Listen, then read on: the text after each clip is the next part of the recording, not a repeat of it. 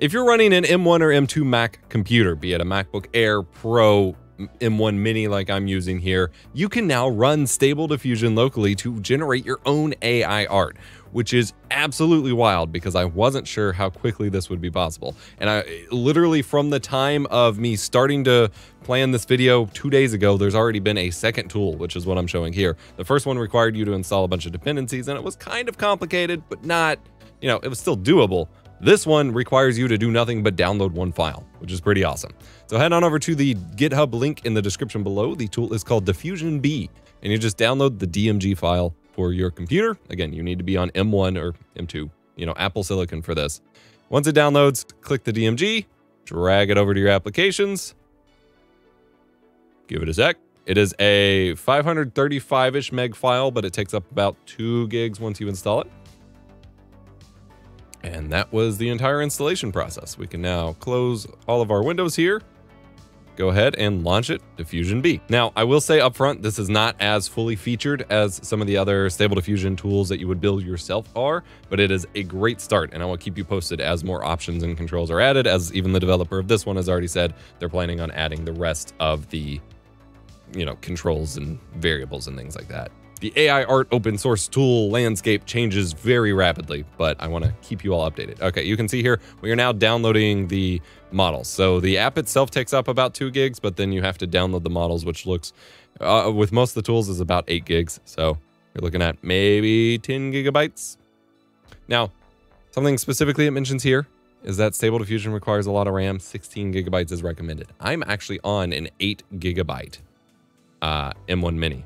So we're gonna see how this goes because the 8 gigs has not been enough for a lot of stuff. While this downloads, my backdrop is a complete disaster. I'm a complete disaster. I am in the absolute middle of a complete studio teardown and renovation, which is going to give me a lot more space for creative work for this kind of stuff to make videos for this channel. It is going to be awesome when it's done. I'm still maybe a week from being done. That's why uploads kind of slowed down a little bit here, but I want to make sure I get this information to you all, and then we can start doing more creative projects once I have this space. Okay, it looks like the second part of this model is only 341 megs, so maybe it doesn't require that much space. Just make sure you got some space available, which I know is difficult on these Macs where they don't give you upgradable storage. All right, it is now loading the model and we can start generating. This, this specific GUI will have text to image as well as image to image. So you can generate images based on other images as well. I don't really have anything saved locally on this Mac to use, but we'll pull an image and make it work. So I want to make sure I mention this every time we talk about it. If you're unfamiliar, Stable Diffusion is another great AI art generator tool, kind of like Midjourney or DALL-E 2. It's one that you can run locally, run on a server, things like that, that has a lot more kind of modularity to it to allow you to use extra things like certain upscalers, face restorers, things like that kind of all built in, as well as just has sometimes a better job at generating certain types of assets. Okay, here we have our text prompt and a generate button. And then we have some advanced options. We can change image height, image width. Steps. Steps are the number of details, like uh, not the number of details, but the, the level of detail that it gets to. Between 25 and 50 is usually recommended. Once you go beyond that, it's basically like deep frying the image and it ends up kind of probably looking worse than you might expect. Guidance scale is how much it adheres to your actual prompt. So that's kind of like the chaos and stylize uh, flags for Midjourney. The default on most of these GUIs are about 7.5. If you take it down to zero, then it's going to adhere, strictly to your prompt, but then it's not going to have any extra details, so you have to be as descriptive as possible, and you got to give it some creative freedom. And then as you go up, it's going to, you know, wander further and further away from the prompt that you told it. So we're going to leave the defaults here. We're actually going to make it smaller. We're going to do 256 just to give ourselves some performance room since we don't have a ton of RAM. And for this, what do we want to generate? I want to generate a cu cute die cut sticker of an adorable cat in an astronaut helmet. And we're going to click generate. And it's going to generate our image. This is going to take a little while. Go get a drink or something.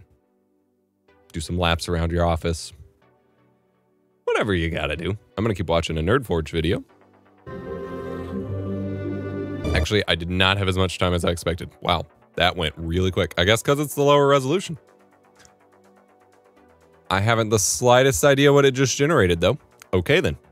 We're just going to take out the sticker part. That's something I've been doing for Midjourney just to try to get more sticker-like things, but that's not... That is nothing. We're going to try again without the sticker. See what it says. there we go. We got an adorable cat kind of in an astronaut helmet. We got an image. We can now save it. I'm just going to prop up a prompt. We can browse to our... We'll just save it to our desktop. Save. We can also do image to image. Oh, that's coming soon. Okay, we can't do that one yet. You also get some logs of how it runs, which is pretty cool. It is using the DDIM sampler. So in some of the Windows GUIs, you have a bunch of different samplers to choose from, which will give you different results. Uh, we can explain that more in a separate video. This one only gives you one, but in terms of speed, we're looking at one to two iterations per second, which is not too far out of line from what my beefy powerhouse computer can do. Now we were running at a slower, you know, lower resolution. All right, let's do space dino in astronaut helmet floating in space. And we need to change that in to wearing.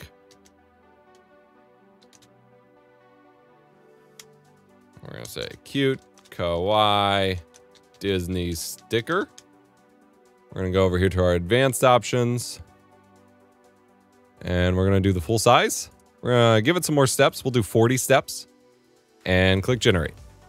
This is to take, take, take, take, I believe, believe, believe, believe, believe, mouse is now lagging. So maybe not.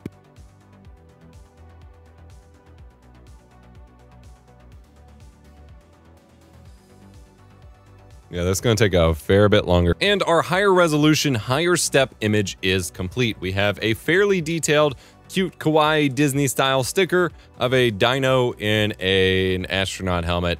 You don't really get a ton of the dino details here, but I could specify a specific dinosaur, the style, things like that. But you do have the image here, and now we can save it out as usual. Give it the space dino name, click save, and we're done.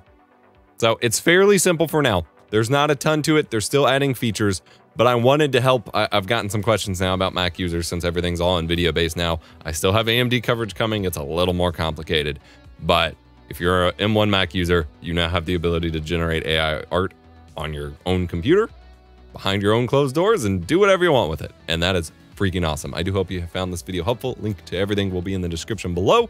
Subscribe to Analog Dreams for more art and AI focused tutorials and guides. And remember to be kind, rewind.